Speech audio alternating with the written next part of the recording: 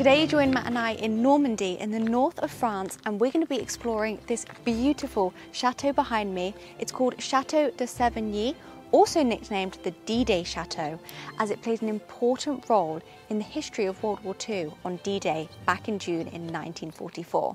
So in this episode, we're going to be exploring the grounds inside the chateau. Matt and I are also staying here tonight, so we'll film it in the evening so we can show you what it looks like. And we'll also be introducing you to the owner. But before we start the tour, we just want to say a massive thank you for 500,000 subscribers. I remember the day when this channel went from 99 subscribers to 100 and I was so happy. And I cannot believe we've reached half a million. So if you've watched us from the start or 100,000, 200,000 subscribers, or you just randomly clicked on this video, Matt and I want to say a massive thank you because without you, we would not be standing and being able to share this incredible chateau with you. Yeah, massive thank you from me also. Let us know down in the comments below at what point you subscribed to our channel. Was it at 5,000 subscribers, 10,000, or was it last week? And if you haven't subscribed, make sure you click that button down below, really helps us out. Now let's start exploring out the front. So to my right, we have a beautiful building, which is a stables and a gorgeous tower. I like to call it a princess tower, um, but I believe that's where the defense would be in. And the little window you can see is where they used to fire archery to the enemies. You got it? Beautiful architecture from the front. And then to my left, we have the main driveway with gated access. And there's around 20 acres with so many beautiful trees. Now, before we carry on this tour, let me introduce you to the owner. Hello, I'm Arnaud de Pontac. I'm the owner of the Chateau de Servigny. We are in the Cotentin Peninsula in Normandy, and we are at three hours by train from Paris. This house, as I call it because I, be, I grew up here, belongs to my family since uh, the late uh, 17th century.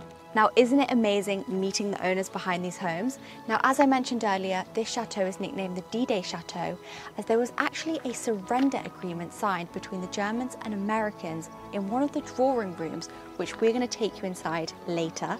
Now, before we continue, let's take a moment to remember the historic event of D-Day. D-Day, which stands for Day of Days, is a term used to refer to the Allied invasion of Normandy, France during World War II. It was one of the most significant military operations in history and took place on June 6, 1944. The invasion marked the beginning of the campaign to liberate Western Europe from Nazi occupation. The troops were divided into five landing zones, codenamed Utah, Omaha, Gold, Juno and Sword. The Allied forces stormed the beaches of Normandy on the morning of June 6, 1944.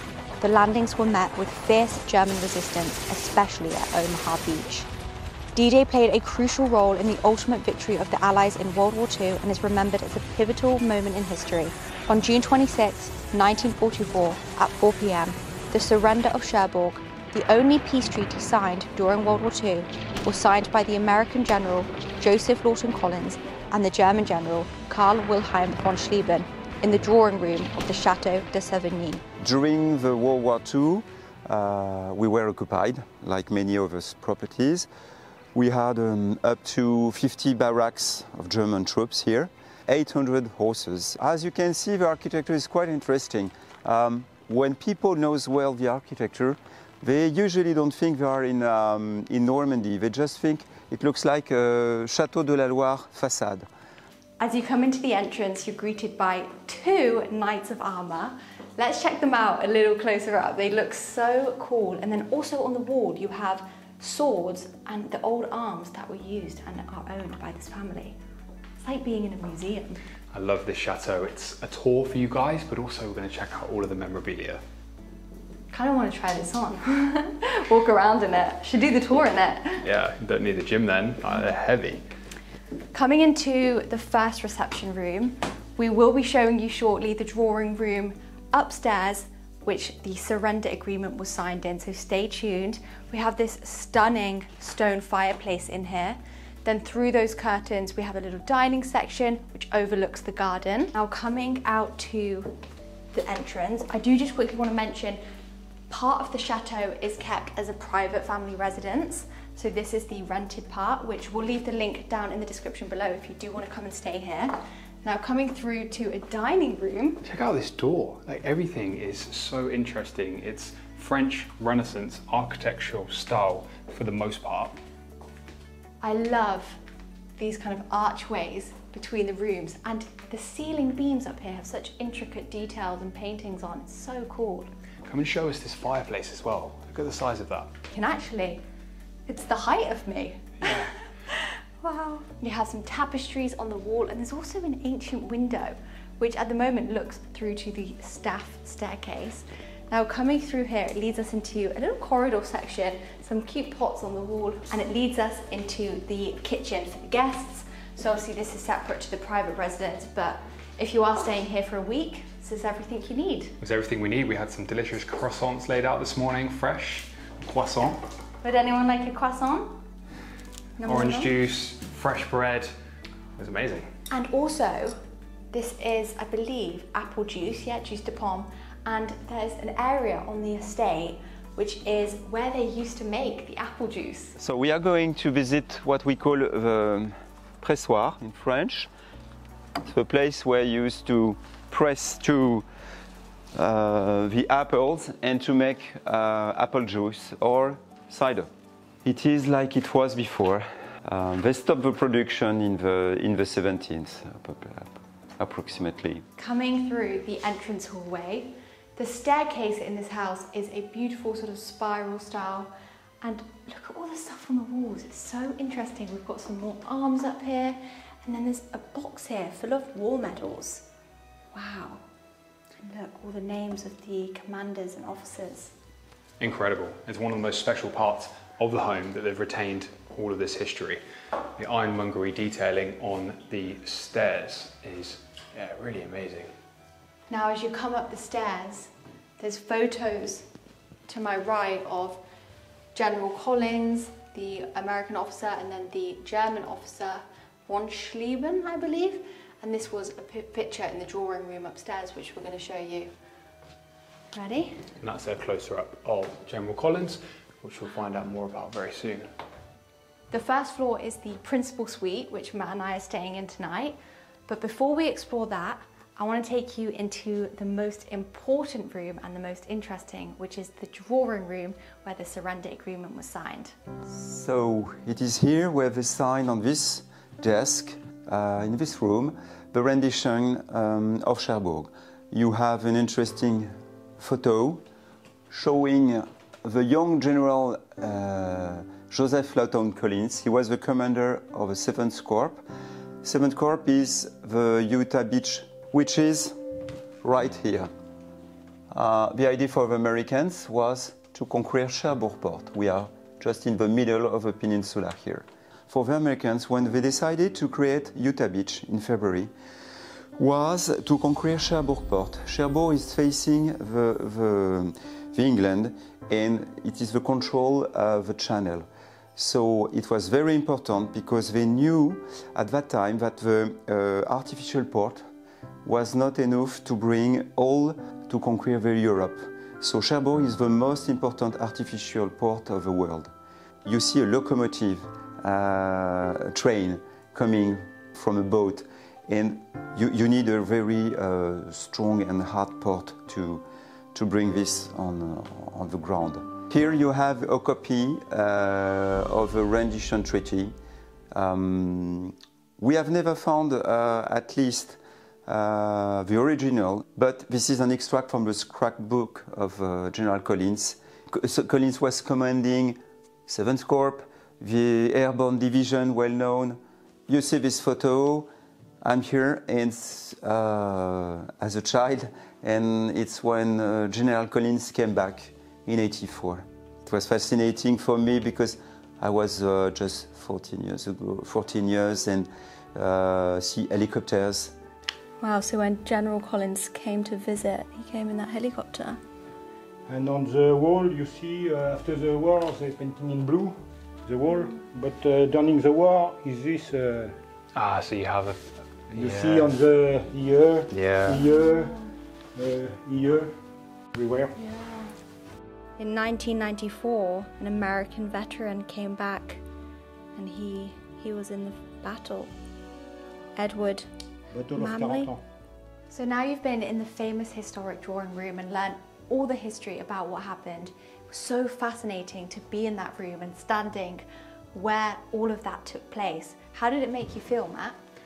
It's quite powerful, actually, to be honest, especially looking at those original war photos. I think there's nothing like seeing, you know, that in person. It just takes you back to what a time that would have been. I mean, I would have been fighting in the war. I know. My brother would have been, you know, it was real and it was just everyday people like us. Absolutely crazy. In the photos, you could really see the emotion. The fact that you could see photos of the General von Schlieben from Germany walking, and it's you can see the wall that he was walking past in the photo to now. And I think it's just in, important to show a significant amount of gratitude to everyone that took part, you know, all of our allies in the war. Life would look very differently for us today if it was a different outcome. For sure. So let's carry on this tour. This is part of the principal suite. So there's a lot of little rooms, but this is, I guess, like a chess room. Look at this chessboard. Yeah, let's have a game of chess later. And did you say this room is named after General Collins Yeah, himself? this is the General Collins room. Coming into the principal suite's drawing room, we have a beautiful bookshelf here. Lots of intricate details above the door. I love this fireplace. Let's check this out a little more, Matt.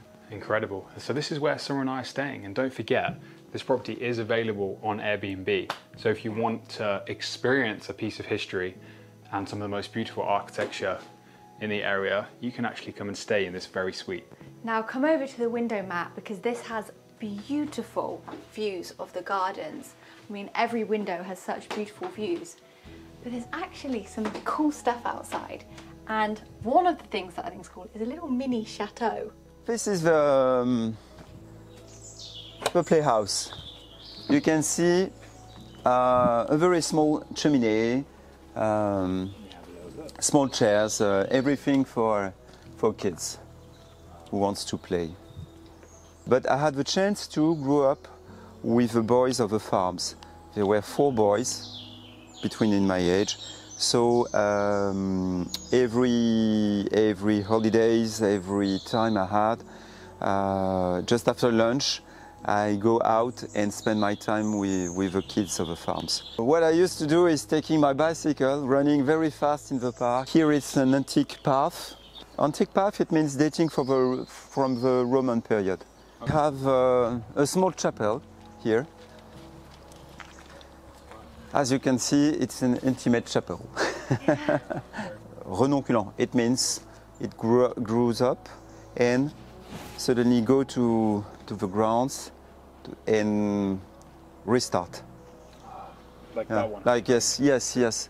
Because sometimes you think, well, it's died, but no, no, it, it it's restart. Now there are two entrances to the bedroom space. We'll go through this one here.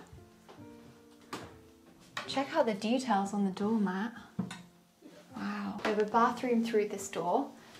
Now coming into the bedroom. This has got a red theme going on in here and there's fabric on the wall which is similar to what they did back in the olden times, wasn't it? It wasn't wallpaper, it was actual fabric. And the outlook is just stunning. And there's so many different areas that you can explore. If you enjoy cycling or running uh, or walking and exploring, this place would be so ideal as Yeah. we're experiencing. I love how easy all the windows open. You can just stare outside, and there's the cool cannon. Cannon was uh, was in the port, Cherbourg port.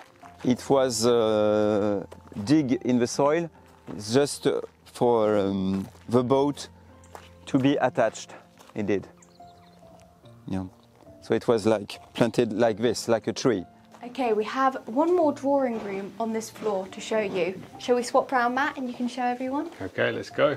I've just been filming, so I think I might need to get changed. Or do we think it's okay? You look fine. Black All polo. right. Come on through. We're continuing through the principal suite. All of this part of the bedroom space. They have yellow painted walls throughout here. And this drawing room is so impressive. One of my favorites actually, down to the paint color. It was actually painted like this after the war. We talked about in the principal room, they used fabric previously, and on all of the photos um, where the general was there, they had a different fabric finish on the wall, and it was then painted to this blue afterwards. But it reminds me of the sky on a beautiful day. It looks incredible. This drawing room features beautiful chandeliers, amazing lighting, yet another marble uh, fireplace here. So impressive. We have the standing piano. And a detail that I love the owner is an architect by practice and for his diploma, as I understand it, this was something he created alongside his uncle. It's a replica of the chateau and the surrounding grounds. This is quite interesting. This is the model I've done for my diploma uh, of architect. You see the chateau, it's quite important. But the most important part is the outbuildings. The estate was quite important, and you have a farm with uh, some stables here. I, I lose my father very young, and my uncle take care of me. He was very interesting in um, antiques, so we spent weeks to to buy some antiques. Uh, he was very interesting in architecture. He has created some we call it Folly, Follies in the park, a playhouse for children, a temple of Neptune on the Pounds. Now finishing in this room, another detail to notice is they've actually used marble as the skirting all the way around. Very grand. We have the second floor to show you. Now Summer and I have been very busy on our stay here, touring the grounds, meeting the owner, meeting the caretaker. We're yet to actually explore the second floor and we haven't been up here yet, so I'm just admiring everything that I can see. There is the most incredible portrait up wow. there. Wow. Yeah, we thought we would leave a little bit for our first impressions. Look at this, wow. Should we explore this way? Yeah, let's go down there. So we have some guest bedrooms here, each with their ensuite, so bedrooms through there. Wow, Matt, I wonder what's down there. I know, I don't know if we have the key to that, you know. Ooh. Yes, staff staircase. Mm-hmm. it's perfect. Single beds for kids, you have in this room, for example, fascinating wallpaper that actually matches the bed coverings. Here we have one of the bathrooms with perhaps an original washing style facility. So we've got the marble casing around the doorway yet again. The Montgomery bedroom. Again, all a slightly different theme. Certainly every room's gonna make you feel quite royal when coming to stay here. There's so many bedrooms. so many bedrooms and so many lights trying to turn them all on. This is a nice room. So we've got the double bed there. Look at the kind of the curtain above the bed there. So we're quite high up in the house now. Mm, I wonder where are. we are. This is a small little window overlooking the garden. This is the last room we're going to show you here because the door to my left then connects to the family private part of the house, of the chateau.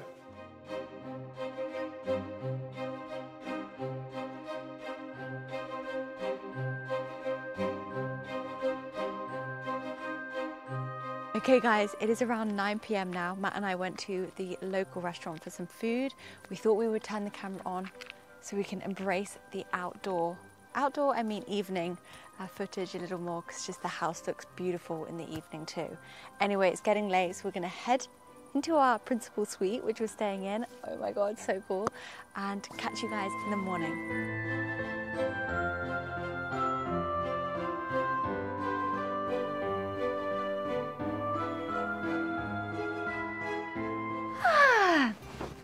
Good morning, everyone. I slept like a princess in her castle last night. Now let's get ready for the day.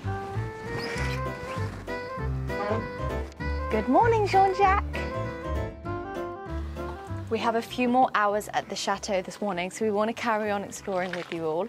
Let's walk around to the back. I want to walk past the stables, which is a beautiful building. We could check out the orangery and go past the little turret, which was a watchtower. It was a watchtower, but for you, it's a princess tower. You're yeah. looking like a princess of the chateau today. We should have maybe asked to see if it opens up and we could have like gone up, gone up to the top. Yeah, that would have been cool. So this is the stables. So here you have um, some bikes here. What is amazing is old stables it didn't move since um, it has been built. So guests can enjoy, uh, make a tour with bicycles. It's a beautiful morning here in Normandy. Yeah. Our last morning here. So here's a little look at the orangery.